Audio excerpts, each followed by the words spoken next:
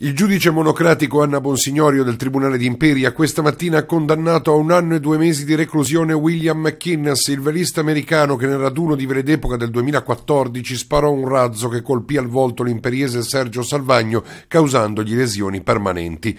Il giudice ha disposto la sospensione della pena condizionata al pagamento entro nove mesi di un anticipo di danni alle parti civili. Il totale dei danni dovrà essere quantificato in un giudizio civile separato da quello appena concluso concluso.